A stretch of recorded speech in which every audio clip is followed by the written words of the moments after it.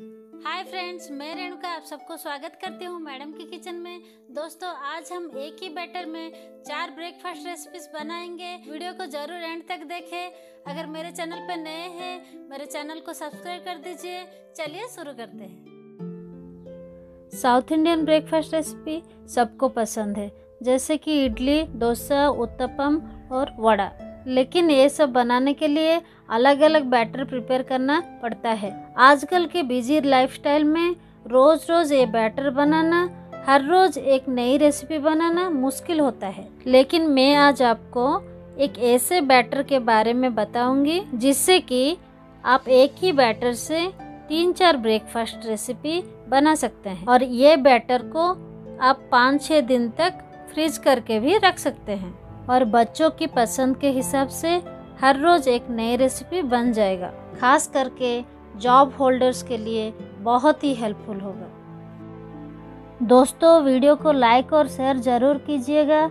आपकी एक लाइक मुझे ऐसे ही वीडियो बनाने के लिए और इनक्रेज करेगा।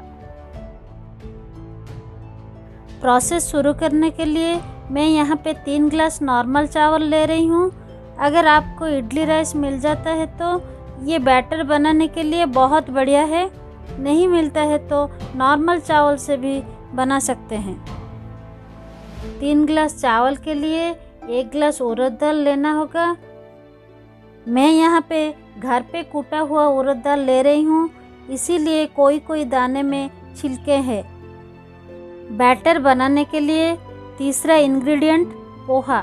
ये आधा ग्लास लीजिए और साबुदाना वन फोर्थ ग्लास। उड़द दाल में दो चम्मच मेथी दाने डालेंगे ताकि जब बैटर प्रिपेयर करेंगे, बैटर को कॉफ़ी बनाने में मदद मिलेगा। अब ये सब इंग्रेडिएंट्स में पानी डालकर चार पाँच घंटा अच्छे से भिगोने के लिए रख लेंगे। छः घंटा हो चुका है। अब देख सकते हैं, चावल उड़द दाल, पोहा सब कुछ अच्छे से सोख हो चुका है। पहले चावल के साथ साथ पोहा, साबुदाना मिक्सचर को मिलाते हुए ग्राइंड कर लेंगे। ध्यान रहे बैटर को हमें ठीक रखना है, इसीलिए थोड़ा थोड़ा पानी डालकर ग्राइंड करेंगे। अब उड़द दाल को ग्राइंड करेंगे। अगर हम चावल और दाल को मिलाकर ग्राइंड करेंगे तो थोड़ा ज़्यादा टाइम लगता है। अगर आप इंडिविजुअल ग्राइंड करेंगे तो जल्दी हो जाएगा।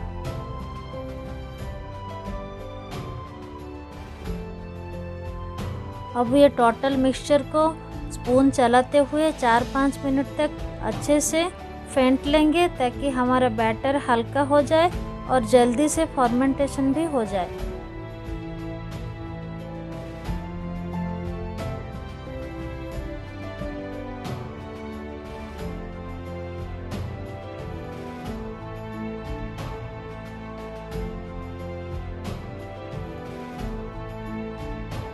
बैटर को फर्मेंटेशन के लिए छः से सात घंटा लग ही जाता है।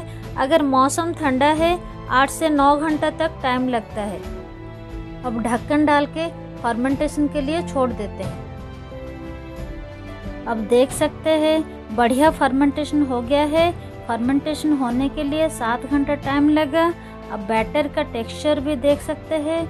हमें जो टेक्सचर चाहिए था, वही टेक्सचर आ गया।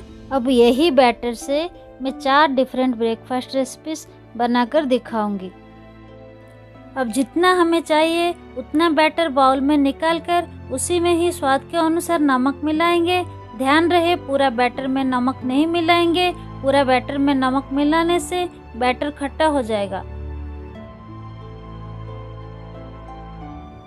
ये बैटर से मैं पहले इडली बनाकर दिखाऊँगी। इसके लिए इडली प्लेट को ऑयल से ग्रीसिंग करके बैटर फिलिंग कर लेंगे। एक साइड में इडली कुक करने के लिए इडली मोल्ड को कढ़ाई में प्लेस करेंगे। और दूसरे तरफ़ तवा गर्म करने के लिए गैस के ऊपर तवा को चढ़ा दिया हूँ। तवा अच्छे से गर्म हो चुका है। अब बैटर डाल के डोसा बनाएँगे। बैटर डालने से पहले ऑयल ग्रीसिंग कर लेंगे। ऑयल ग्रीसिंग करने के बाद थोड़ा सा पानी छिड़कने से डोसा सेब बनाने के लिए स्पून इजीली चला सकते हैं।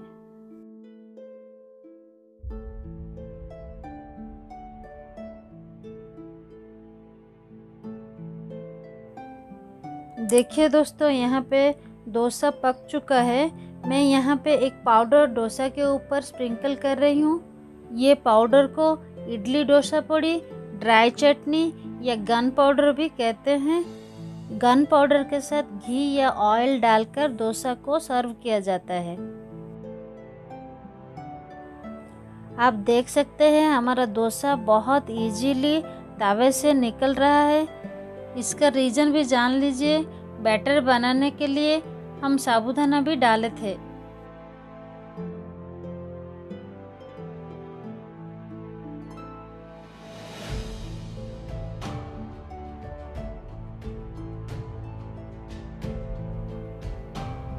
अब वही बैटर से और एक south Indian breakfast recipe uttapam बनाएँगे।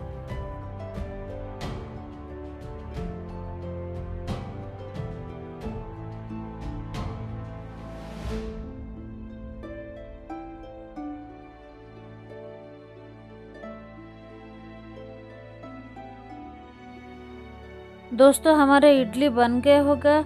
इडली मोल्ड को कढ़ाई से निकाल लेते हैं। मोल्ड से इडली तुरंत नहीं निकालेंगे। दो तीन मिनट ठंडा होने के बाद ही इडली को निकालेंगे।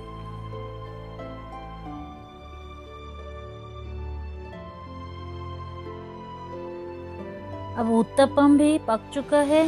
इसके ऊपर भी गन पाउडर स्प्रिंकल करेंगे। ये गन पाउडर बनाने का प्रोसेस जानने के लिए आई बटन पे क्लिक कीजिए या मेरे प्लेलिस्ट भी जाके आप देख सकते हैं।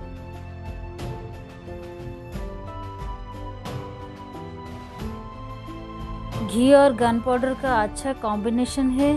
घी ऐड करके उत्तपम को सर्व करेंगे।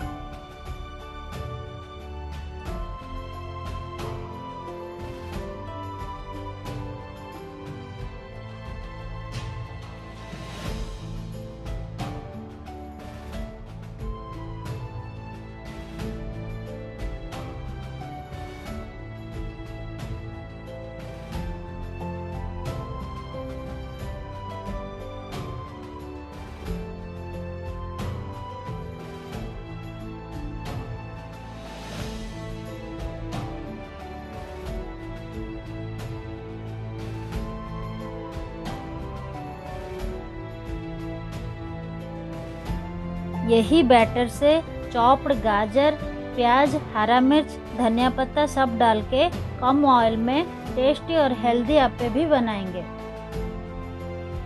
दोस्तों, आपने देखा, एक ही बैटर से चार ब्रेकफास्ट रेसिपीज़ आप ज़रूर से ज़रूर घर पे ट्राई कीजिएगा। वीडियो अगर अच्छा लगा तो लाइक करना मत भूलिए। आप अगर मेरे चैनल को सब्सक्राइब नहीं किए तो प्लीज़ सब्सक्राइब भी कर दीजिएगा। ऐसे ही और रेसिपी के साथ जल्द ही मिलेंगे।